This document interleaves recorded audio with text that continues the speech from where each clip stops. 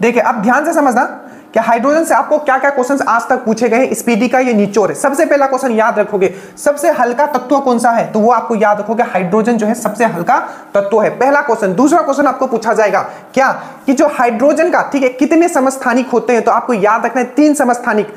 मैं फिर से बता रहा हूँ, एक भी पॉइंट ऐसा नहीं है जो मैंने खुद से यहाँ लिखा है। ये सब आपको एग्ज़ाम में आया हुआ है, आप मेरे थ्रू अपने अंदर डाल लो पूरी तरीके से। देखो, सबसे हल्का सबसे हल्का एलिमेंट सबसे हल्का तत्व आपको याद रखना हाइड्रोजन दूसरा, कितने इसके समस्थानिक होते हैं? तीन समस्थानिक होते हैं। प्रोटियम ड्यूट्रियम एंड ट्राइटियम पूछा गया ये भी, ठीक है? चार ऑप्शन में दिया होगा, कोई एक नहीं होता है। तो प्रोटियम ड्यूट्रियम एंड ट्राइटियम दूसरा क्वेश्चन हुआ, कितने समस्थानिक? तीन समस्थानिक। नाम क्या है? Protium deuterium and tritium next इसका कौन सा समस्थानिक है, कौन सा ऐसा आइसोटॉप है, जिसमें आपका न्यूट्रॉन नहीं होता है? तो याद रखना, जो आपका प्रोटियम है, इसमें कोई न्यूट्रॉन नहीं होता क्यों लिखते हैं इसको? One H H one one लिखते हैं। इसमें कोई भी आपका क्या होता है? न्यूट्रॉन नहीं होता है।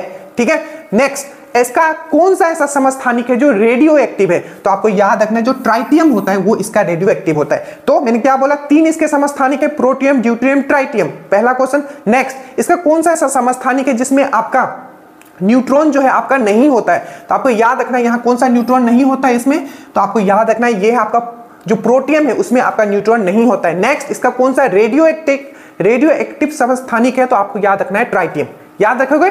उसके बाद फ्यूचर का ईंधन किसको बोला जाता है? तो याद रखना है, फ्यूचर का ईंधन किसको बोला जाता है? हाइड्रोजन को बोला जाता है। नेक्स्ट पूछा जाएगा कि कौन सा ऐसा फ्यूल है, कौन सा ऐसा ईंधन है जिसका सबसे ज़्यादा कैलोरिफिक वैल्यू है? तो आपको याद रखना है, सबसे ज़्यादा जो कैलोरिफिक वैल्यू होता है, वो होता है आपका हाइड्रोजन का, ठीक है? कैलोरिफिक वैल्यू मैं समझा चुका हूँ। और पूछा जाएगा इसका कितना कैलोरिफिक वैल्यू होता है? तो याद रखिएगा, डेढ़ लाख किलो जूल निकलता है। अगर एक के अगर आप हाइड्रोजन जलाओगे, ठीक है? एक के अगर हाइड्रोजन आप जलाओगे तो आपको डेढ़ लाख किलो जूल आपको क्या मिलेगा? आपको एनर्जी मिलेगा। इसलिए इसका हाईएस्ट कैलोरिफिक वैल्यू होता है, इसलिए इसको फ्यूचर फ्यूल बोला जाता है, ठीक है? अब याद रखिएगा, क्वेश्चन पूछा जाता है कि पूरे ब्रह्मांड में ठीक है, कि पूरे ब्रह्मांड में सबसे ज़्यादा कौन सा तत्व है कौन सा एलिमेंट है? तो याद रखेगा हाइड्रोजन। यहाँ मैं ब्रह्मांड का बात कर रहा हूँ। अब थोड़ा क्वेश्चन रिवर्स करेगा वो, आपको पूछेगा कि जो हमारा अर्थ क्रस्ट है मतलब अर्थ के अंदर में, ठीक है अर्थ क्रस्ट का जो भू परपटी है अर्थ क्रस्ट है, उसमें सबसे ज़्यादा एलिमेंट कौन सा है?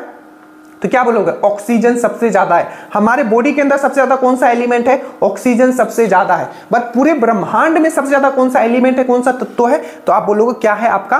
वो है आपका हाइड्रोजन बट यही क्वेश्चन चेंज कर देगी सबसे ज़्यादा, ठीक है?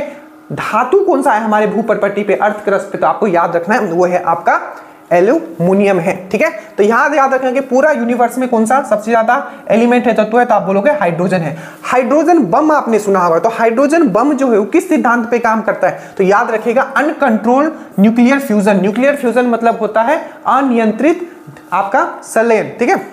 न्यूक्लियर फ्यूजन मतलब सलयन ठीक है?